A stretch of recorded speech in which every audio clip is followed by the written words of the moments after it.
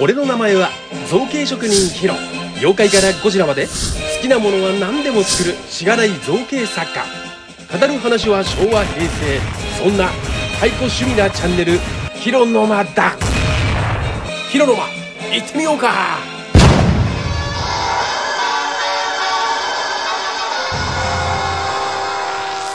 このチャンネルは、記憶の恋人、ロッチ、空想製薬、その他、ご覧のスポンサーの提供でお送りいたします。どうも造形職人ヒロでございます、えー本日もヒロの間ご覧いただきありがとうございます。はい、えー今回のヒロの間は何をおしゃべりするかというとえーちょっとね、あの、前回話してた、あのー私の大好きなドラマの話、まあちょっとあのー再放送みたいなもんなんですけど、やっぱりね、この冬だんだん近づいてくると、なんかどうしてもね、あの、夕方やってた再放送の時代劇とかね、から私子供の頃、大川一善とか水戸黄門とかやってたんですけど、その中でね、私が大好きだったのがね、江戸を切るというドラマがあったんで、まあそれの思い出をね、前回、だいぶ、えっ、と、あれ、今日、えっ、と、今年の終わりぐらいかな？話したんですよね。で、まあね、それのね、ちょっとあの、また、再アップにはなるんですけど、まあ改めて、ちょっとあの、だからね、冬になるとね、どうしてもこの時代劇、だから個人的にはね、ちょっとこの、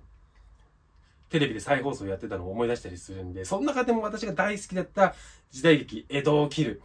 ねこの西郷輝彦さんが主演で、で、オープニングのね、歌もね、西郷輝彦さんが願いという歌を歌って始まるオープニング。あれがね、子供の中になんか非常に印象に残ってて、まあ今で私ね、カラオケでもね、歌うぐらい好きなんですよ。なので、まあ今回ののは前回話した、まあ江戸を切る、時代劇江戸を切るの感想をじっくりね、語ったやつ、えーまたね、再放送したいと思います。で、えー個人的に、あのー私の頑張ったところは、オープニング、江戸を切るのオープニングのあの歌、えー私、歌って、あのオープニングを少し雰囲気再現してますんで、そこら辺も含めて、えーぜひ、江戸を切るの感想、ご覧ください。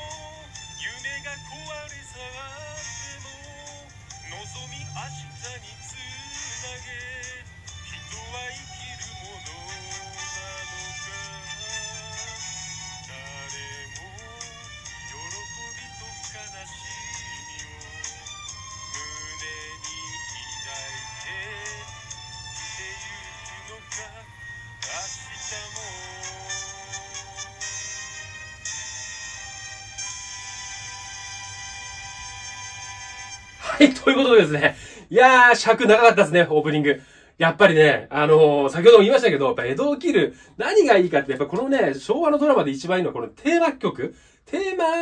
曲、テーマソングがしっかりあるオープニングっていうのがやっぱりね、一つ魅力なんですよ。っていうことで、えー、あのーもう本当にね、えー私歌っちゃ、歌っちゃいましたね。あの、願いを。今日も、あ、いいですね。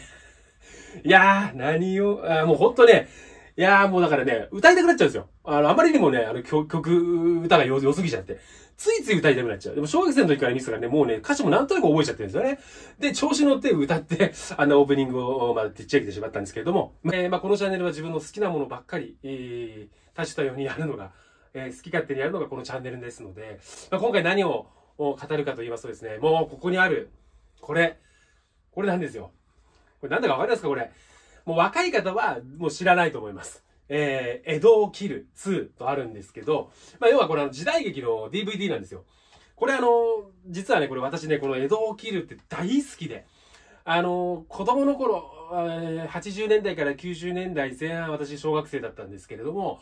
学校終わって帰ってくると、まあ、4時過ぎぐらいですよね。あの、帰ってくると、一緒に住んでいたおじいちゃんおばあちゃんが、再放送のね、ドラマを見てた。で、それがね、時代劇で、これ、江戸を切る。これがね、よく再放送で夕方やってたんですよ。なもんで、私も帰ってくると、なんとなくそれを見てたんですけど、なんかね、することなくて、暇な時、江戸を切るとか見てるとね、めちゃくちゃね、これ面白いんですよ。あの、水戸黄門とか大岡越前とか、もちろん再放送やってたんですけど、だん、もうダントツ、この江戸を切るがめちゃくちゃ面白くて。ちなみにこの江戸を切る主演はね、西郷輝彦さん。でね、ヒロインにね、松坂慶子さんっていうコンビでやってたんですけど、このね、江戸を切る、その子供の頃とすごく大好きだった、これ江戸を切る、たまたまリサイクルショップで1枚だけ、これ DVD ボックスで発売されてるんですよ。これね、江戸を切るってめちゃくちゃシリーズ長くて、約21年間作られてたんですよ。すごくないですか ?21 年間の間に、第1部から第8部まで、ずらーっとものすごい、えー量の作品がね、作られてたんですよ、ドラマで。で、その中の、うんこの江戸を切る2、この DVD、えっ、とね、第1巻、第1巻のね、1話から第4話までが入った、4話分入った、この江戸を切る2、第1巻、これでたまたま見つけて、あ、懐かしいなと思って買ったんですよ。で、見たらね、やー、やっぱり面白かった。面白かった。でね、あのーこれね、まあ、先ほど言いましたけど、21年間作られてるということで、出演者だとか話の内容、話数はね、とんでもない数にわたるので、これを全部語るのは非常に大変ですし、私も、はっきり言って小学生見てた、あの、再放送。で、しかもね、再放送ね、第何部かもね、よく分かってないんですよ。で、そこら辺もね、さっき調べて、大体ここら辺のやつを私、あの、再放送で見てたのかなと思って。だからこの、えー江戸切る2、江戸切る2の、この第1巻、第1話から第4話っていうのは初めて見たんですよ。えーあの、私が再放送で見てた頃の登場人物と若干違った、あ俳優さんも出てたりして。でね、まあ面白いで。で、まあね、結局ね、何が面白いのか。これ、私、これ造形職人ヒロの目線で見た、このね、江戸を切るの面白さ。これあの、内容もともかくなんですけど、あの、やっぱりね、音楽なんですよ。音楽がね、あの、まあ、あの、だいぶ前のね、私のこのヒロの場でも、あの、明智小五郎、天地茂さんが、あの、主演でやった、あの、美女シリーズ、あの、土曜ワイド劇場の天地茂さんがやったね、あの土曜ワイド劇場の、えー、明智小五郎ね、これね。これのね、えー、どれだけ面白いか。で、その中で、やっぱりあの、テーマソングが良かったと。テーマ曲が、テーマ曲がめちゃくちゃ良かったって話したんですけど、ご多忙にもですね、このね、江戸を切るもね、テーマ曲、テーマソング、めちゃくちゃそれがね、バチンとハマってるんですよ。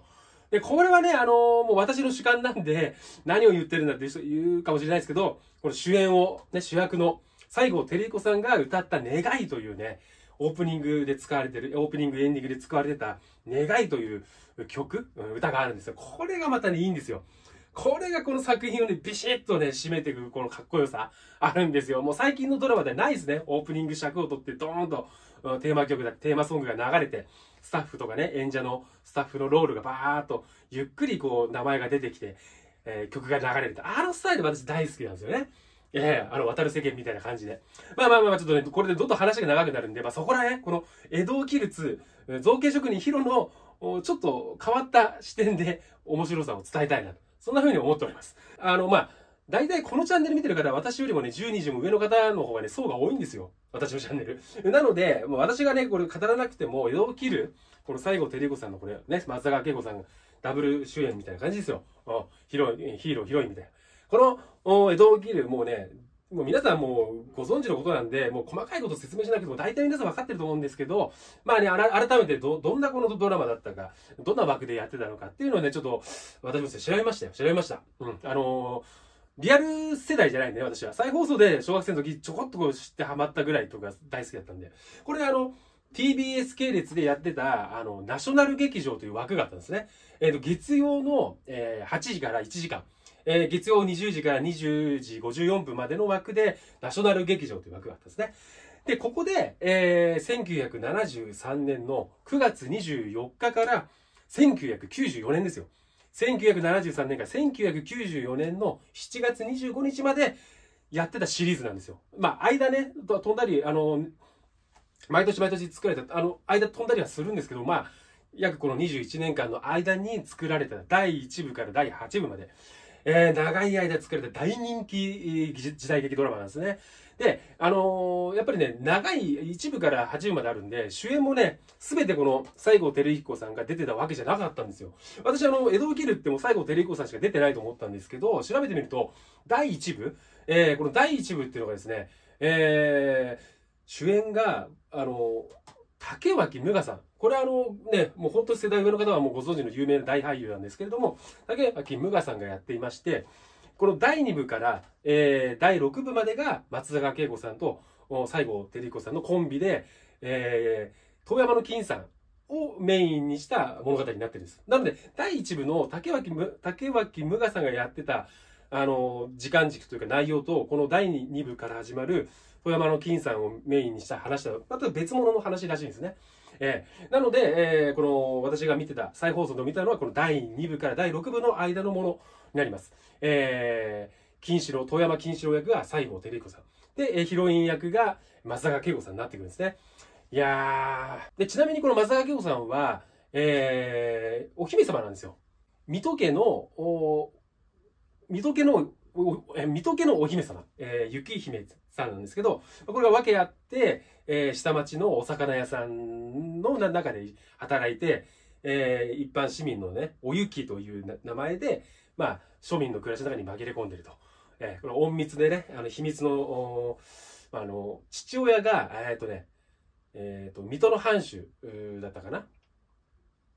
水戸藩主のね、徳川、えー、徳川成明。これね、森重久彌さんがやってるんですけど、この森重久彌さん演じる徳川、えー成明の娘さんが、このおおゆき、えー、雪姫さんなんですね。で、それが、ま、町のね、えー魚屋さん、えー、おせいっていうあの女性が営む魚屋さんのね、魚政ってなんですけど、このおせいさんはね、えーやってたのは、あの、春川真澄さんでいう、これはもう昭和のドラマで言ったらもう皆さんご存知の春川真澄さんがおかみさんで、で、やってるこのお魚屋さんに、えー松坂慶子さん、えーおゆきさんがいて、で、そこに一緒に、えー働く風来坊みたいな金四郎、お西郷輝彦さん演じる金四郎が働くんですけれども、このお金四郎さんは、えー先ほど言ったおゆきのお父親、水戸藩主の徳川、えーな、えーと、な、な、成明だっけな？そうですね。徳川成明から、えー徳川成明の後押しを受けて、あの、北町奉行の、あの北町、北町奉行にね、あの、就任させるんですね。この徳川成明の後押しで、えーこの、金さんが。で、えー金さん、遊び人の金さんなんで、一緒にこの魚政の中でね、えーこれ働くんですけれども、なので、えっ、と、徳川成明の娘のお雪姫さんと、えー金四郎、お父親である、おゆきの父親である徳川成明、森重久さん演じる成明、あの、娘のおゆきさんと職場が一緒だという、ちょっとね、もう説明がね、もうね、あの、大変なんですよ。あの、時代背景のいろんな藩主だとか、いろんなね、出てる武武行の書のね、あの、この兼ね合いだとかあるんで、まあまあ、そういった形で、まあその、賑やかなお魚屋さんで働く金四郎さん、西郷輝彦さん演じる金四郎そして、えーまあ、ひね、隠密で、えー秘密裏にですね、えー庶民の中にこう、ま、紛れているこのおゆきさん。で、おゆきさんはよ夜になると紫色の頭巾で顔を隠してですね、あのー紫頭巾としてこの悪い奴をやっつけるみたいな、まあまあまあまあ、あの感じでいたりするんですけど、で、この魚屋さん、魚間さんの中に一緒に働いてる風車のヤシにちょっと通じる、立ち位置の、あの、金さんの助っ人役としてね、あの、松山栄太郎さんっていうのがいるんですね。松山栄太郎さんが演じる、あの、次郎吉っていうのがいるんですよ。で、この次郎吉は実はね、ネズミ小僧。よ夜はね、ネズミ小僧をやってるんですよ。そのネズミ小僧を扮する、この、えー、次郎吉もこの魚屋さん、魚政で働いてます。で、え魚屋の、小頭、えー兄貴分の、お高橋えー栄太郎さんがやってるんです。高橋栄太郎さんといえばもう水戸黄門でうっかり八兵衛として有名なんですけれども、この魚屋さんには、高橋栄太郎さんだとか、松山、あ、な高橋、えーげ高橋源太郎さんだ、ごめんなさい。高橋源太郎さん。で、松山栄太郎さん扮する、まあ、あの、次郎吉とか、まあもうそういったね、昭和の、まああのもうそうそうたる、もう時代劇には欠かせないメンズが出てるんですよ。で、しかも、これあの、脚本がですね、羽村翔子、あえっと、原作です。原作がね、羽村翔子さんなんですよ。羽村翔子さんといえば、もう昭和のあの石田哲夫ドラマ、パパと呼ばないですですとか、あともう時代劇といえばもう TBS の枠、同じ枠で、大川越前とか水戸黄門、これの原案、原作を務めたのが羽村翔子さんなんで、そういったドラマに出てる出演者の方々もやっぱりこの、江戸を切るにもね、えーちょこちょこ顔出してるんですよ。あの、例えばあの、大阪四郎さんだとか、あとね、松で、先ほど言った松山栄太郎さんね。あの、大阪四郎さんも松山栄太郎さんも、パパと呼ばないのに出てますから。まあ、そういった形で、あの、羽村翔子原作ドラマには欠かせない人たちが、ずらりと出てると。いうところなんですね。で、あのーまあ、冒頭でね、私、この江戸を切る子供の頃再放送を見てたって言うんですけど、私が見てた頃は、あのーこの、江戸を切る2第1巻の中に出てる登場人物と若干ね違うんですよ。私が見てた時はね、あのー南町奉行だったかな。えっ、と、奉行所の方方の、えーえーと、中にあの、関口、関口博さん演じる、うあれなんだろうな、南町奉行の人がいたりとか、あと、おかっぴきで、えっ、と、谷寛一さんっていうあの昭和のコメディアンの方、このね、谷寛一さんと、関口博さんと、松山栄太郎さん、これと、まあ、あの、松坂慶子さん、春川真澄さんだとか、えーで、ももちろん、富山の金さんは、えー、西郷輝彦さんですね。で、こ、この頃の再放送のやつを私、子供の時見てたんですよ。で、調べていくと、おそらく、えっ、と、私が見てた、再放送で見てたのは、第、えー、だから、だ、第3部から第6部の間のな何かしらを私、あの、小学生の時、再放送で見てたのかなと思いますね。で、オープニングが、えっ、とねね、願い。あの、オープニング願いだったんですよ。で、第2部はエンディングだけ願いなんですよね。で、第3部以降が、この、えー願い、あの、テーマソングはオープニングになるので、だ第2部以降、第3部以降か。第3部から第6部までがオープニングで願いになるんで、まあね、あの、そのあたりのものが再放送でいっぱい流れてたんですよね。もうね、これね、ちょっともうね、語るのがね、ほんとちょっと大変なんですよ。情報量が多すぎちゃってて、私もその、再放送でチラッと見ただけで、子供の時に。で、あとこの DVD しか持ってないんで、ごめんなさい、もう本当にね、あの、江戸を斬る好きな方からしたら、もうあまりにもたどたどしくて、あの、ちょっと内容が乱雑で申し訳ないんですけど、まあね、とにかくね、面白かったんですよ。面白かったんです。で、あの、先ほど言ったこの、願い、あの、もうこのね、曲がね、デレレレン、デレレレレレレレン、デレン。これがね、もうかっこいいんですよ、この願い、この曲。これあの、えこの主題歌のね、曲を作った作詞が、えや、や、山下さんね。で、作曲が泉拓さんです。で、泉拓さんはこの、えー、江戸を切るの BGM を担当してるんですけど、この泉拓と山下コンビで作るこの願い、そして、えー、歌うのが主人公の西郷輝彦さん。これがかっこよくてね、あのー多分ね、あの、こう願いは、えっ、とね、だ、うん、だ第、えー、2, 2部はえエンディング願いの歌なんですけど、オープニングは、あの、インストだったかな歌なしで流れていくんですよ。で、エンディングで何か事件解決して、こう、か、か、川、か川の裾野を歩いていく、ね、金さんと松川恵子さんとかね、あの、ネズミ小僧の次郎吉とかがこう歩きながら、パーンと引いてって、夕日バックで。で、今日も事件一件落着な、でもな、次郎吉いいかいとか言ってね、えー、まるはいいけど、次こんなことやったら許しちゃいかねえからな、みたいなことを、まあ西郷テレビさんがかっこよく、こう言う、語ってるわけですよ。あの、じね、ネズミ小僧である次郎吉にね。で、へい、へい、わかりました、へい、とか言いながら。で、この夕日のね、えーで、この水面がキラキラ光る、う川のね、えー川っぺりを歩きながら3人が、う金四郎と、おー次郎吉とおゆきさんがね、こう3人歩いて、で、遠目から、あの、望遠でこう、撮ってるわけですよね。あの演出としては。でね、夕日照らされた川がキラキラしたところで、ね、こう3人歩きながら、分かってるよ。あの、金四郎がね、分かってるよ。もう江戸の夜にネズミは出ねって言ってんだろ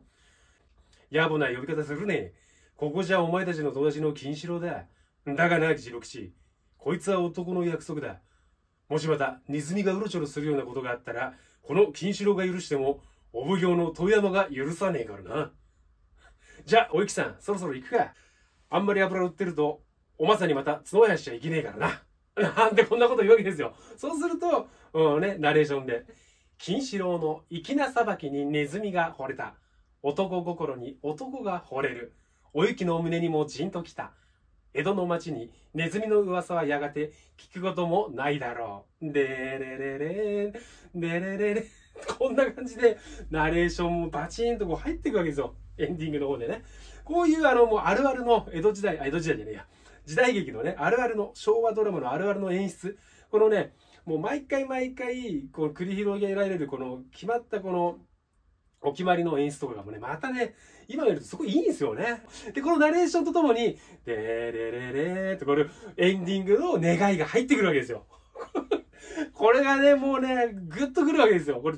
これ、皆さんついてきてますか？本当にね、この時代のこういう演出のね、あの、エンディングとか、あの、入り方、ナレーションの入り方とか、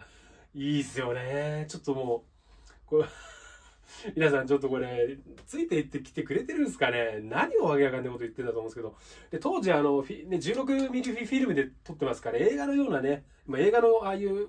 重厚感ある画質でね、あのドラマやるんでね、もっといいんですよ。いやー、ちょっとこれね、ついてきてくれるかな？ちょっとこれだから、これあの、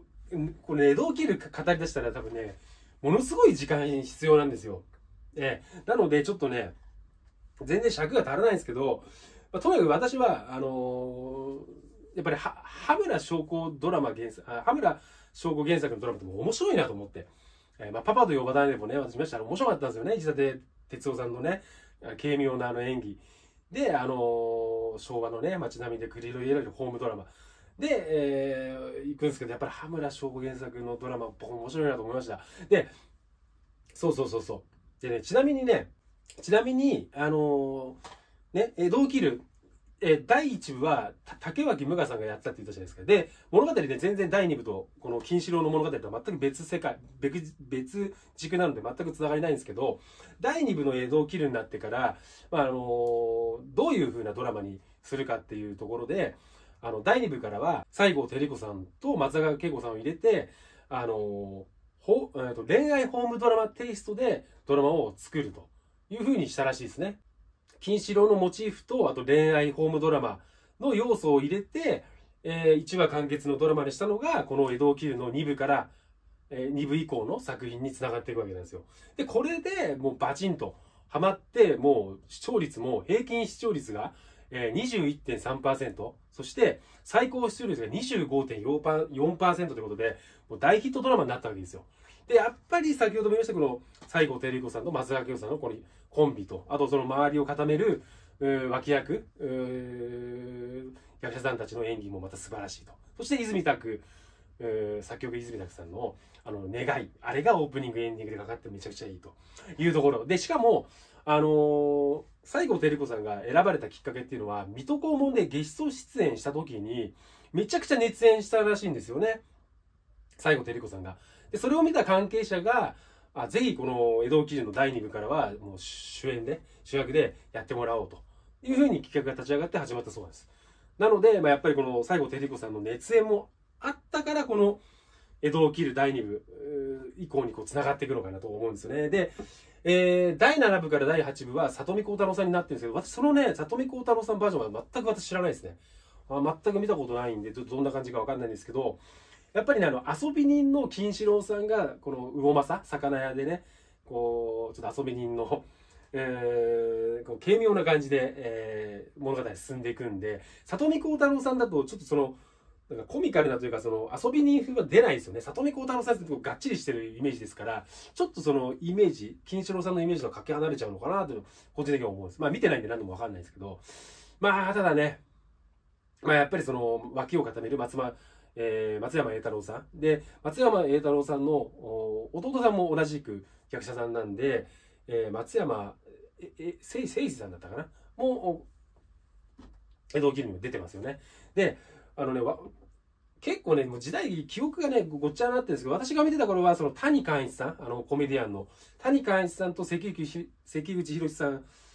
が出てたバージョンを私あの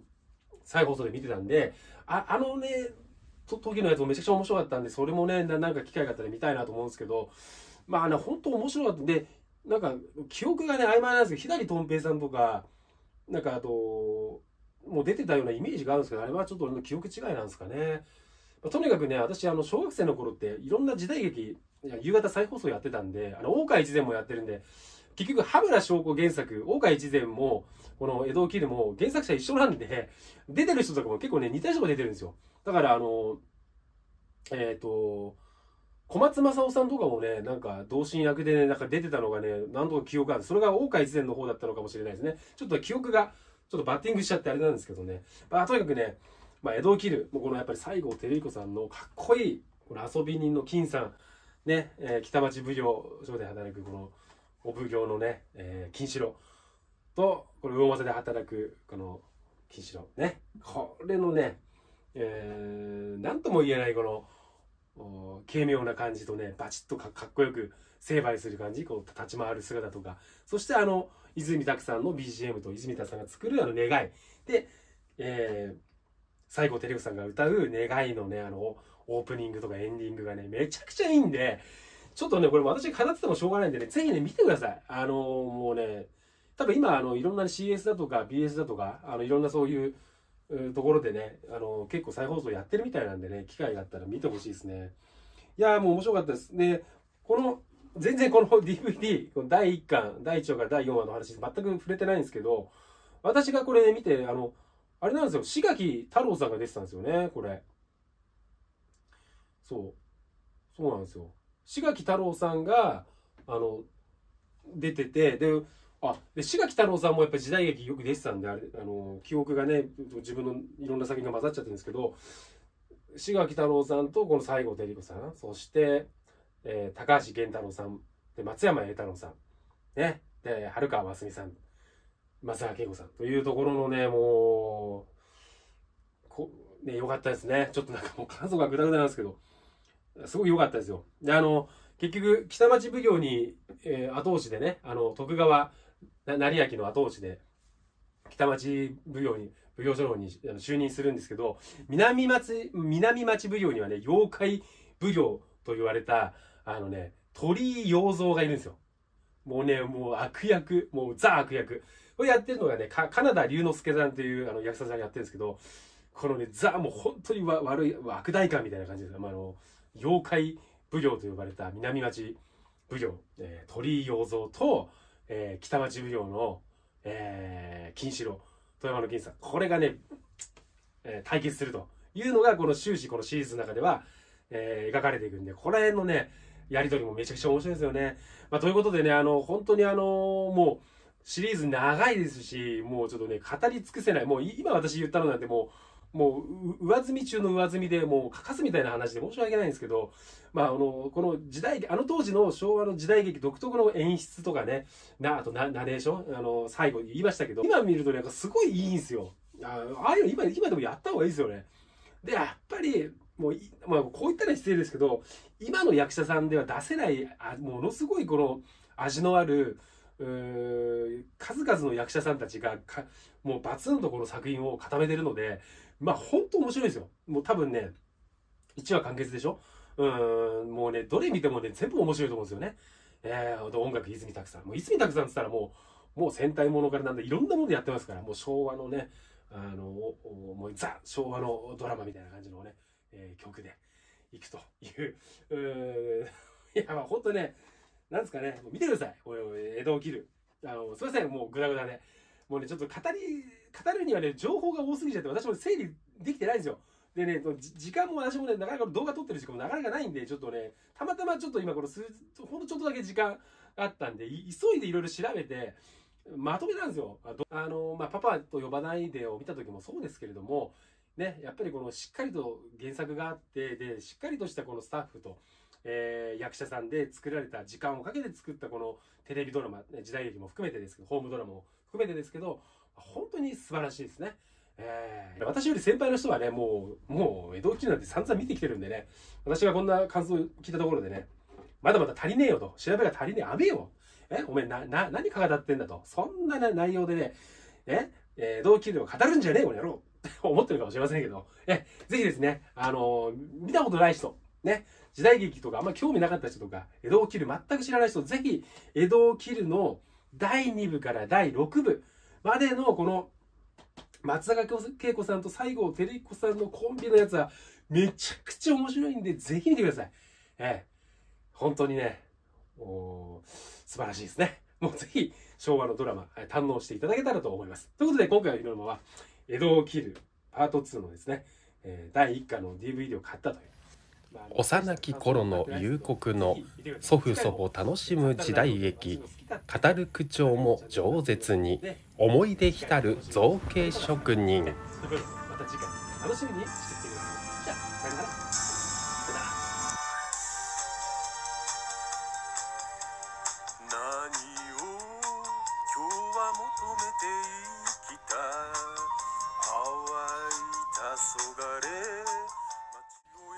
チャンネルは